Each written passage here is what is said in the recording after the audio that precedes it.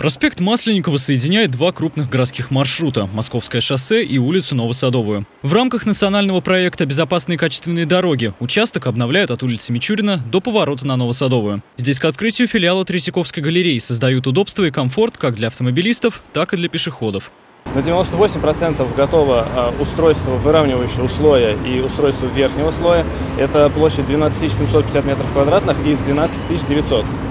Остальные виды работы у нас готовы на 100%, такие как устройство тротуаров на площади 5500 метров квадратных, устройство парковок на площади 800 метров квадратных и устройство газонов на площади 2800 метров квадратных. Еще один важный маршрут вблизи фабрики кухни – улица Луначарского. На ней также ремонтируют дорожное полотно и тротуарную часть. Рабочие уже положили новую плитку, установили пандусы для колясок и маломобильных граждан, поставили новые дорожные знаки и фонарные столбы для освещения территории. По оценкам подрядных организаций, обновление проспекта Масленникова и улицы Луначарского находится на финишной прямой. Ну, сейчас вот выполнено порядка там, 90% объемов работы. 1 сентября будет 100%.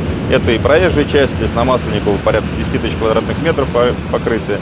Это километр 600 метров и плиточное покрытие, и газоны, и схема УДД. Э, все работы выполняются в срок. Следят за ходом ремонта и общественники. Павел Покровский считает, что от открытия филиала Третьяковки внутри фабрики кухни и от ремонта сопутствующих участков дорог на проспекте Масленникова и улице Луначарского зависит развитие внутреннего туризма. Как человек, который с искусством на «ты», он убежден, что в филиале должны выставлять свои картины и самарские художники.